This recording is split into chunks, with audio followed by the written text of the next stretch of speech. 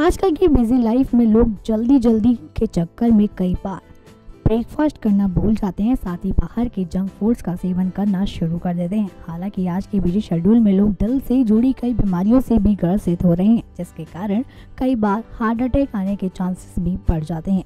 और आप इससे निजात पाने के लिए अक्सर महँगी महँगी दवाइयों का सेवन करना शुरू कर देते हैं।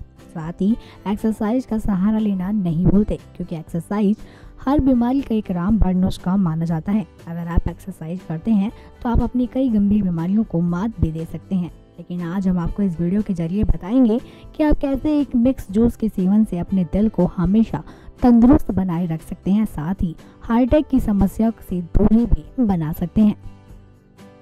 हालाँकि दोनों चीज़ें आपकी सेहत के लिए एक बेहतरीन औषधि भी मानी जाती हैं। जी हाँ इस जूस को बनाने के लिए आपको एक चुकंदर लेना होगा और एक संतरे के छोटे छोटे टुकड़ों को लेकर इसका एक मिश्रण तैयार करना होगा और रोज़ाना इसका सेवन भी करना होगा। ऐसा करने से आपको काफ़ी राहत मिलती है, साथ ही आपके शरीर में रक्त का संचार बेहतर तरीके से होता है और आप हार्ट संबंधित समस्याओं से हमेशा दूरी बना लेते हैं तो बेहतर होगा आप इस जूस को अपनी डाइट में शामिल करना ना भूलें।